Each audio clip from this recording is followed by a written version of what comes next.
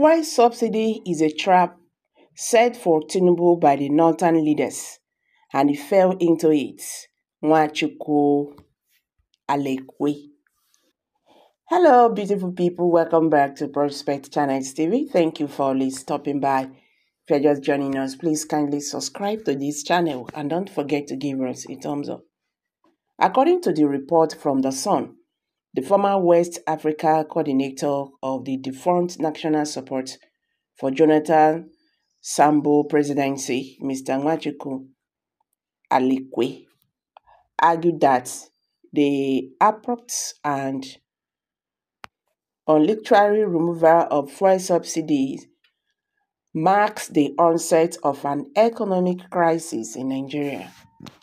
He claimed that this decision was a deliberate poorly by northern leaders to destabilize President Tinubu's administration as the former president Muhammad Buhari led strategically removed fuel subsidy from the 2023 budget that took effect in June just after he left office on May 29.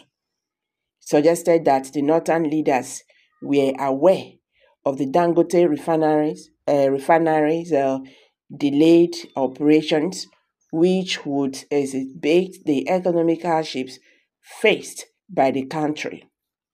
He criticized the lack of contingency planning and measures to mitigate the adverse effects of the subsidy removal, asserting that this, is, this failure has led to widespread problem.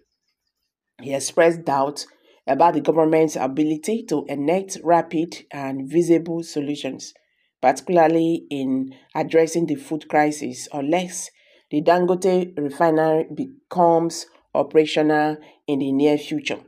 He said, the sudden and non-consulted remove, consulted removal of fuel subsidy is the beginning of Nigeria's economy crisis.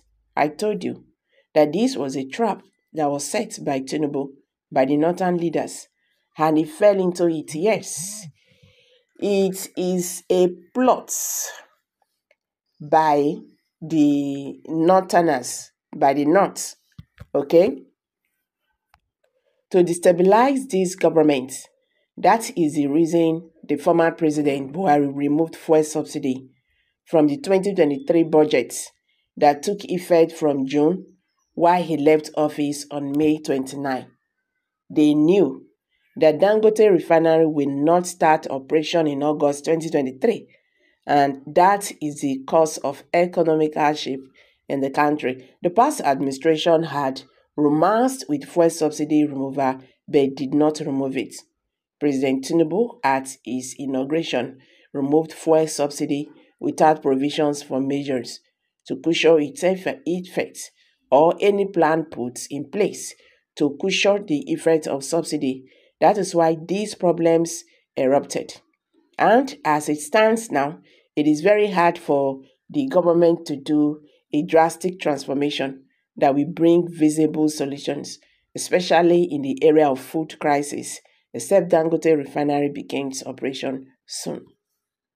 So guys, you've all heard it now. Nwachukwu said, Northerners planned this, this fuel subsidy and uh, President Bola Tinubu fell into their plans. And their plan is just to destabilize his government. So that is why President um, Muhammad Buhari removed fuel subsidy in 2023, you know, July budget, so that any government that enters, and you know, they know that they will work President Bola Tinubu in there. Any government that assume office will suffer the brunt. And that is what is happening right now. Nigerians are now the people who are suffering. You understand? President Bola Tinubu would have used wisdom more, whether we like it or not. His a spokesperson should understand what is going on. Okay? They should understand what is going on. That the situation on ground is not friendly at all no matter how they see it. So this is not the time to start attacking opposition parties. They are the one doing this, they are the one doing that. Nigerians are angry and they are hungry. That is the truth. Nigerians are hungry. So there is no how you will paint the matter. You remove fuel subsidy without any plan on ground. And this is what is hitting Nigeria right now. And with what is said, you know, Northerners always want to be on top. You get, they always want to be there. So all this is for them to come back.